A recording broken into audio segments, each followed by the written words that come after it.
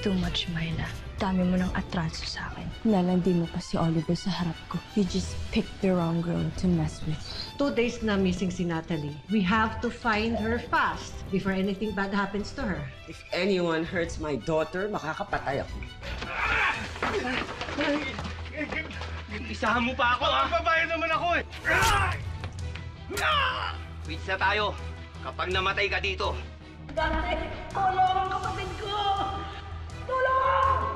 Sino sa inyong gumawa nito? Hindi po ako. I know, sinadya mong sunugin yan dahil ayaw mong ipasuot sa iba. At naiinis ka dahil ako ang nagsuot ng damit ni Rosemary. Ay, maniwala po kayo sa akin.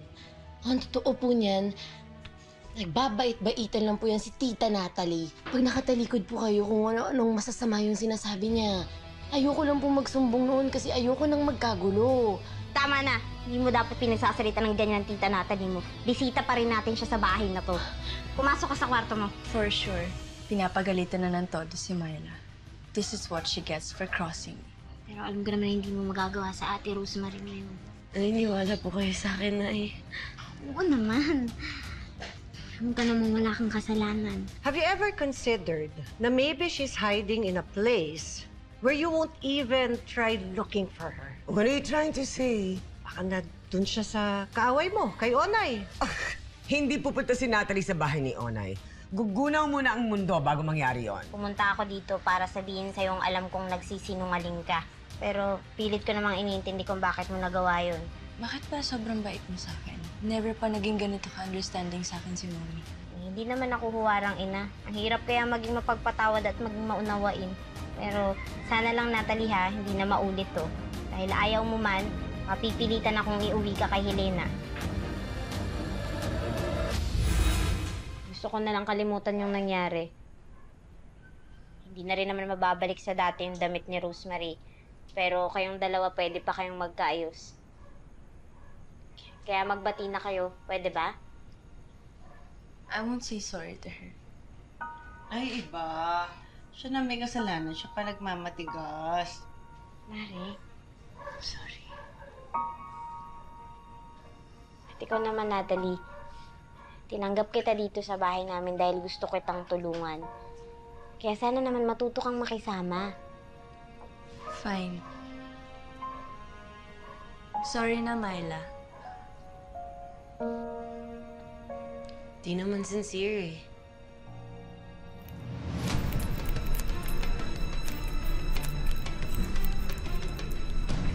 Labas po muna kayo. Kami na po ang bahala sa kanya.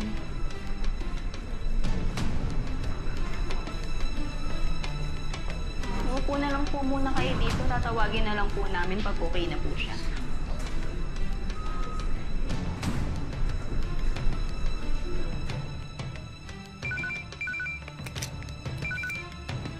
Hello, Nay? Onay, nandito ako sa ospital. Po? Ano pong ginagawa niyo dyan? Na paano po kayo? Ang tito dante mo, nasaksak. Ho? O sige, Nay. Pupuntahan ko po kayo. Ano daw nangyari? Tiyo, dati daw saksak eh. Oh?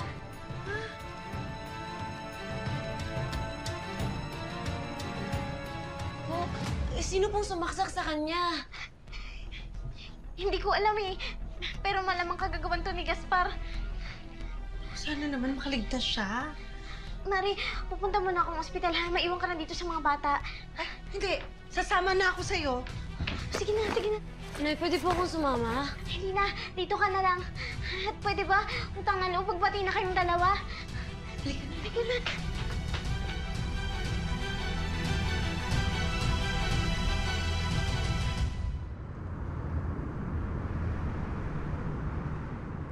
Diyos ko, huwag niyo pong hayaan na may masamang mangyari sa kapatid ko.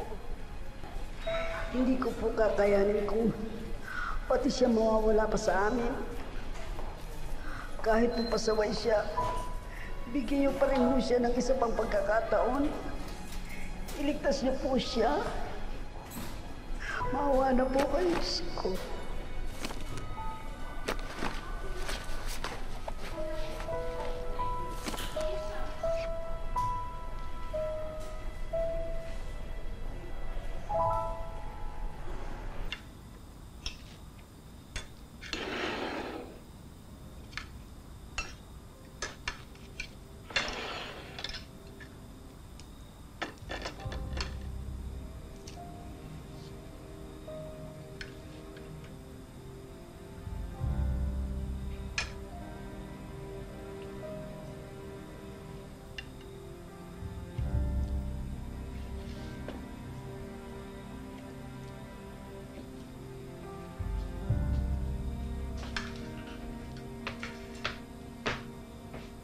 Oh, ano na naman? Naaway mo na naman ba tong best friend ko? Tinawagan ako ni Tita Onay. Samahan ko daw muna kayong dalawa. Baka mamaya daw kasi magsabong na naman kayo. Huwag ka mag-alala, Bessie. Respect mo ko. Salamat, Kiana. Pero nangako ako kay nanay, naiiwas na ako sa gulo.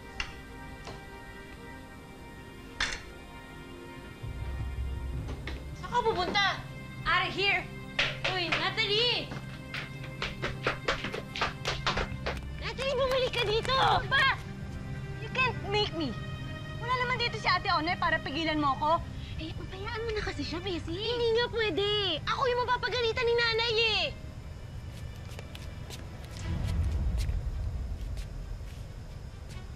Natalie?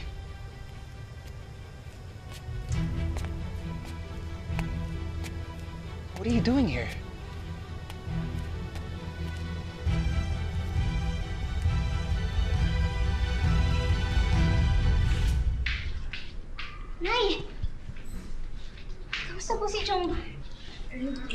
Alam eh.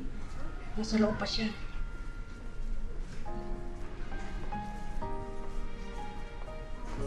Okay na po siya. Huwag na po kayong mag-alala pa.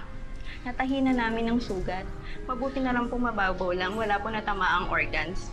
Maya-maya lang po pwede na po kayong pumasok. Maiwan ko na lang po muna kayo. Salamat sa Diyos. Hininig ang panalangin ko.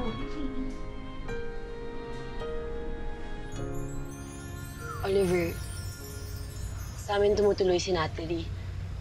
Sorry, hindi ko nasabi yun sa'yo. Oliver. Oliver, please help me. You're keeping me against my will. Gusto ko nang umuwi, but they won't let me. Please. Pagkatapos ng lahat ng ginawa ni na Tita Onay para sa'yo, Natalie, ganyan lang yung igaganti mo? Ang kapal mo naman! Bakit? Totoo naman ah.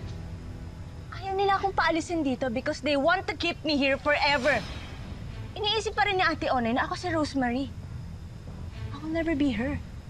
Never in a million years. Sandali ah. Hindi ko gustong binabastos mo yung nanay ko. Gusto mo umalis, edi umalis ka! Oliver, don't waste your time with Myla. You're too good for her. Besides, malandi siya. Ikaw kaya yung malandi.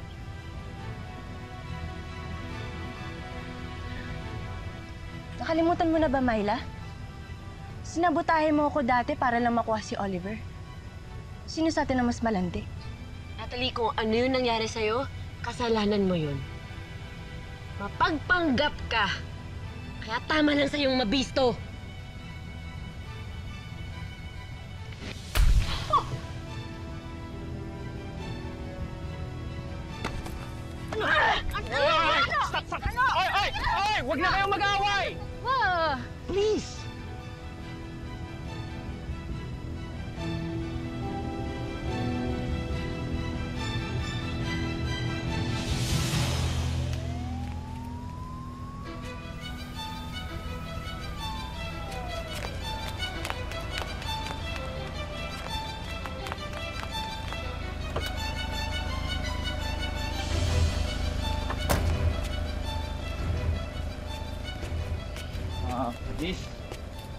Magandang gabi sa inyo. Walang galang na po. May hinahanap po kasi kaming nawawalan tao. Baka sakaling kilala niyo po ito. Siya po si Natalie Montenegro.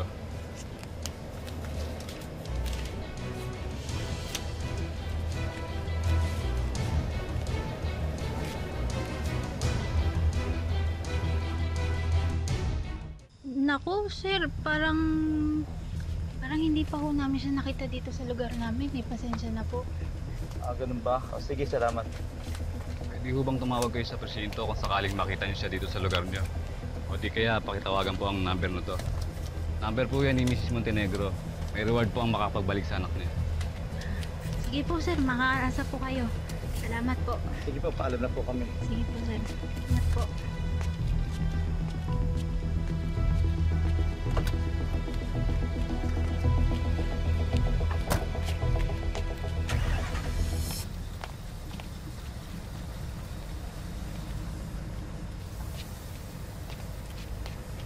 Na, Natalie. Kahit kaaway ka namin, pinagtanggol ka pa rin namin. Di naman kasi kami traidor kagaya mo eh. Beth. Natalie, hindi mo kami kaaway. Eh, huwag ka mag-alala, hindi ka namin ilalaglag. Alam mo, after all this time, nandito ka lang pala kina Myla of all people. Who would have thought? Ako rin. I didn't even expect this. Natalie, listen to me. Your mom's been looking for you. Pumunta nga siya sa bahay namin eh. She's really worried.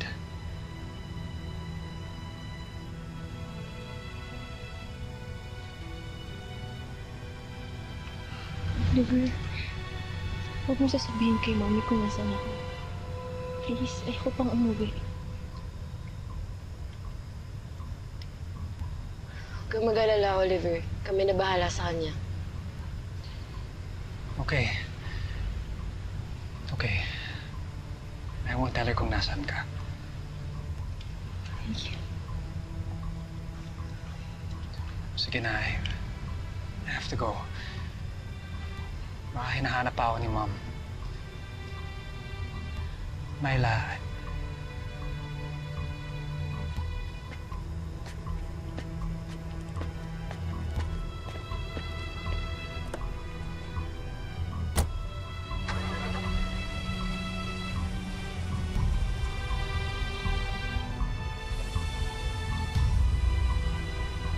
Boyfriend mo na si Oliver? Boyfriend? Hindi nga siya naniligaw sa akin eh. So stupid, Myla. Ano ka ba matalino ka? I forgot. Hindi ka pala nagmana sa side namin.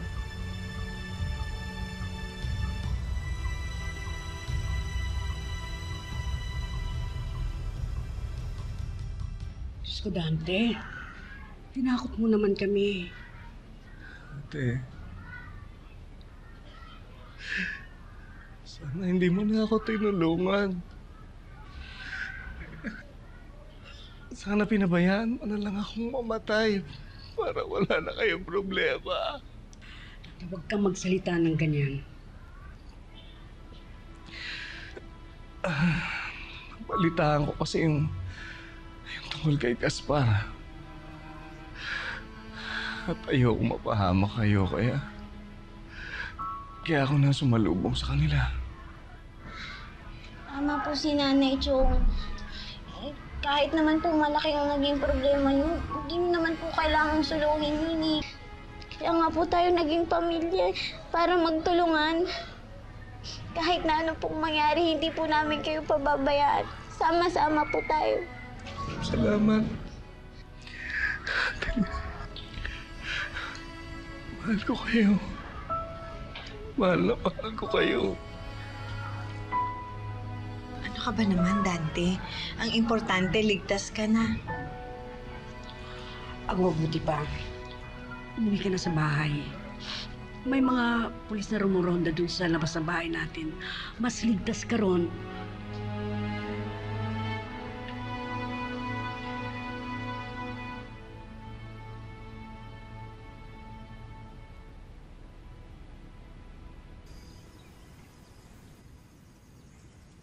Ay, Dante! Ano po? Buti po nakaligtas kayo. Ay, sorry, sorry. Ako pa ba? Hindi nila ako basta-basta mapapatumba. O, Myla, nakakuha ka ba ng biko sa ninang mo? Opo, Nay, nandyan na po. Nasaan po pala si Lola? Dumaan mo na sa presinto yun, makikibalita sa kaso ni Chong. Ay, Chong, si Natalie nga po pala. Dito muna siya tumitigil sa atin. Natalie ang Chong Dante ko. Magandang araw po. Myla, ihain mo na yung biko. Nagugutom na yun si Chong eh. Opo. Ay nga po pala, Tita Onay. May dumaan pong pulis dito. Bakit na? Eh, Nay, nagtatanong po sila kung nagawi po dito sa atin tong si Natalie. Naku, mukhang nagdududa na yung nanay mong nandito ka. Ate Una, ayoko pong umuwi. Ito nga po eh. Iniwan po ng pulis yung contact number ni Ma'am Helena. Willing daw po magbigay ng reward eh. Ikaw naman kasi. Tawagan mo na kaya yung nanay mo para makauwi ka na, tapos matapos na tong problema na to. Ayoko nga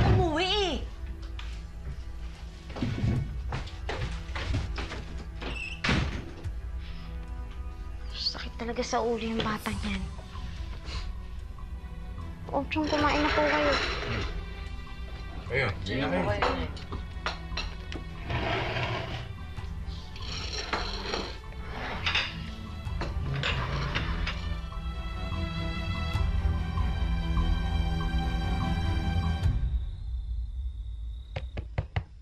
Natalie, maghapunan ka na. I don't want to go out. Baka isolin niyo ako kay mommy. Hindi ko naman gagawin yun. Lumabas ka na dyan, sige na.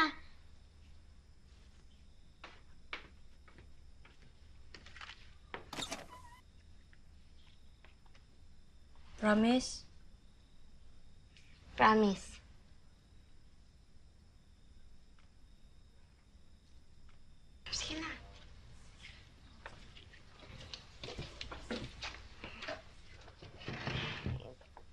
Pero Natalie, hindi mo ba talaga namimiss ang mami mo?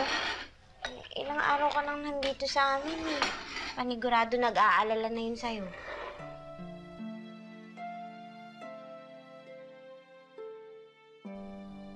I love you, Mom. I love you more.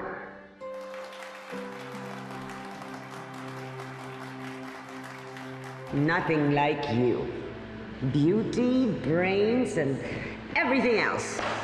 Kayo na pa ba ako mabumana, Mami? Mm, that's why you know exactly what to say.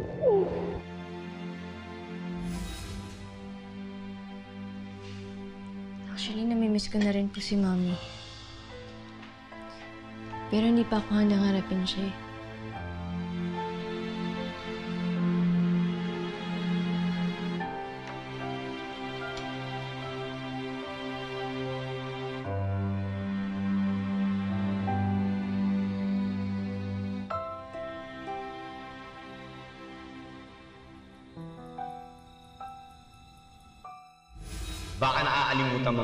May utang ka sa akin. Ipapaalala ko lang. Isahan mo pa ako, ha? Magbabayad naman ako eh! Magbabayad? Marami ka pa sinasabi! Sorry, pero kailangan kong gawin to. Para sa pamilya ko.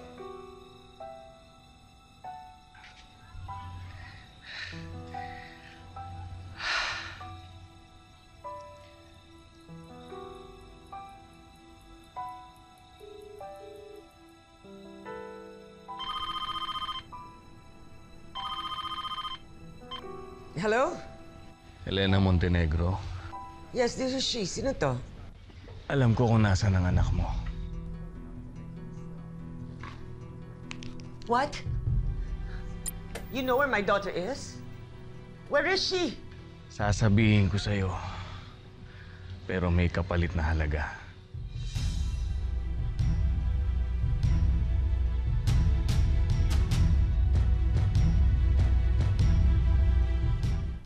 Wait. Paano mo alam kung nasaan ang anak ko? Kapitbahay ako ng tinutuluyan ng anak mo. Eh, paano naman ako makakasiguro na nagsasabi ka ng totoo? Baka, baka pinaperahan mo lang ako.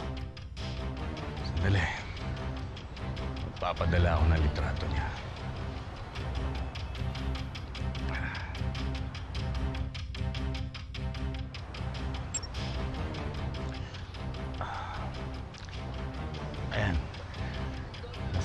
Nakita mo ba?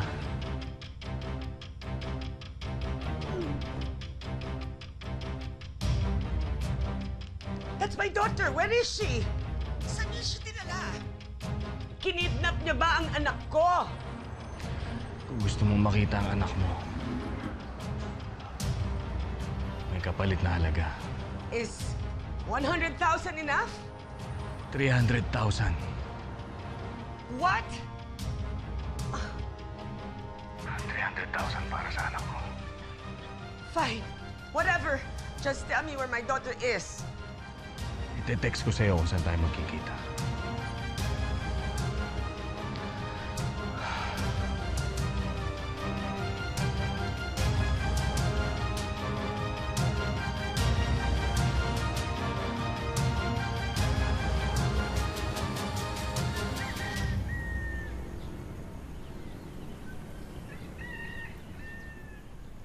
Ako. Bibili lang Oh. kayo ng damit. Saan lakad? Ay, si ate nga pala, sa si Myla dumiretso na ng palengke. Si Myla magdi-deliver ng mga karne. Sige po. Hmm. Ah, tatawagan ko na lang po si Myla.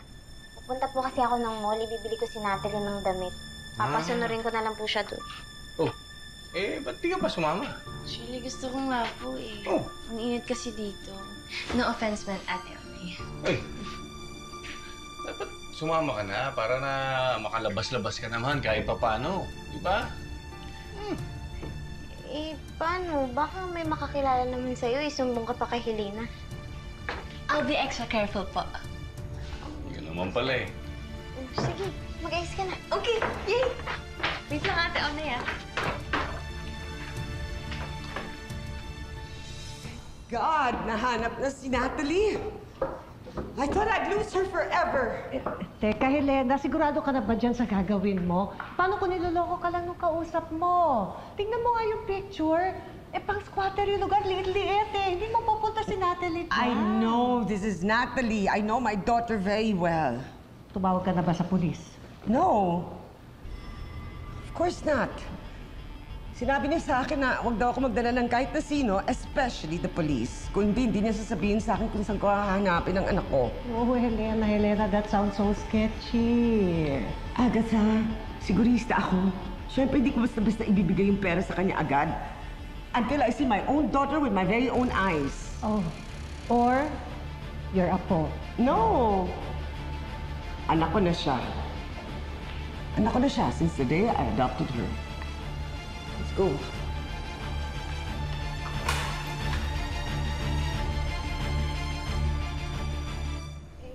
Chong, kamusta po yung sugat niyo?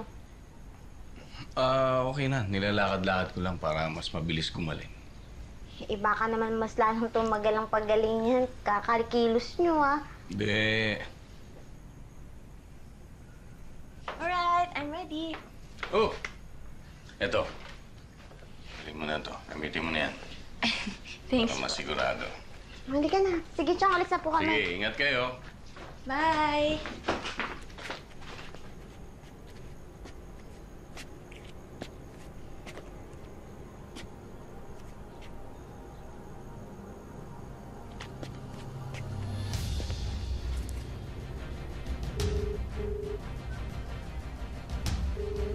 Elena Montenegro.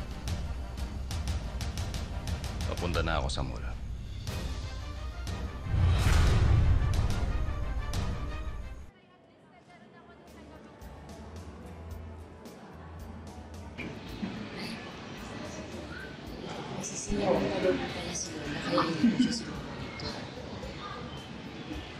Ay, tama ba itong sinama natin si Natalie dito?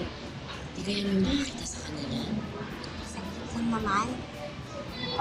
Para makapasyal-pasyal din siya, naiinit na yun sa bahay. Eh, ay, tagal na po niya sa atin. Ano po ba kayong balak isauli siya sa kanila? Hinihintay ko lang naman ako sa umuwi yung tita Natalie niya. Ayaw ko naman siyang pangunahan. Sa bagay, pag maboy na din po yun sa bahay, babalik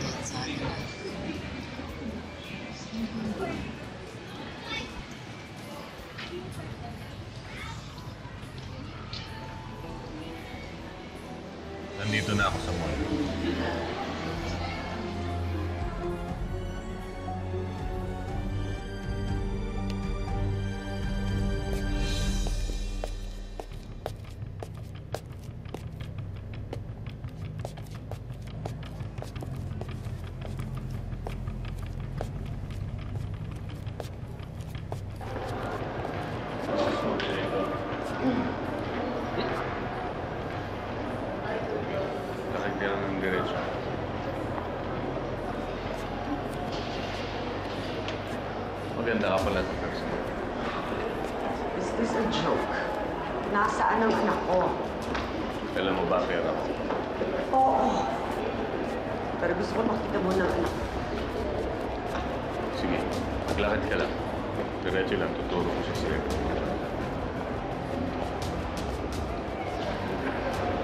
Kalilingon kung ayaw mong may mangyari masama. Sige, diretso lang.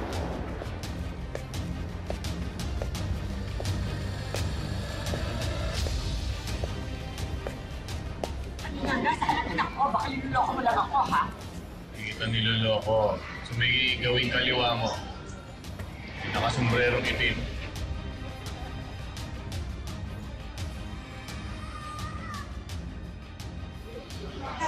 Sandali.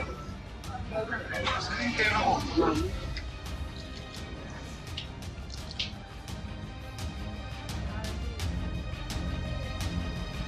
Sorry, Onay. Pero kailangan kong gawin ito para sa inyo. Natalie.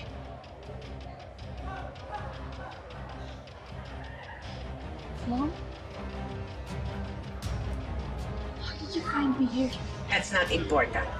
I've been so worried about you. Saan ka ba nagsusot? Let's go home. Now, you have a lot of explaining to do.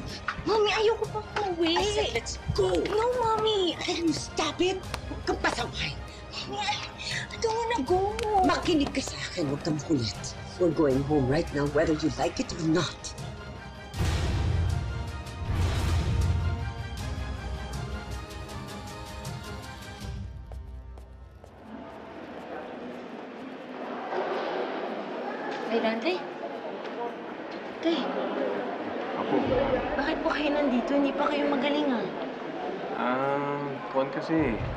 Ah, meron akong pinag-a-applyan na trabaho malapit lang dito. Para naman kasi makabawi naman ako sa inyo. Pero, hindi po ba ma- may makakita sa inyo dito? Doble ingat naman ang ginagawa ko.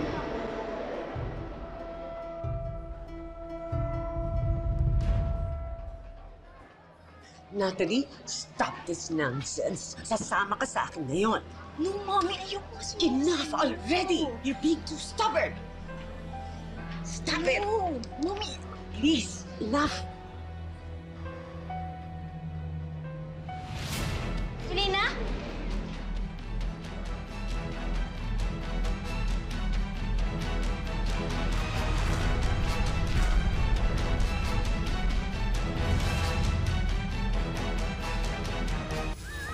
Ayaw-ayaw mo kay Myla.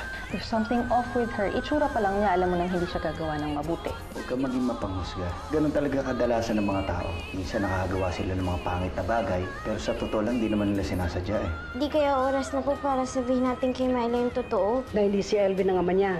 Pati na rin po yung nangyari sa akin kaya siya pinanganak. Kung talagang apo ko si Myla, then kailangan makuha ko siya kay Onay. Onay can say goodbye to her daughter very soon.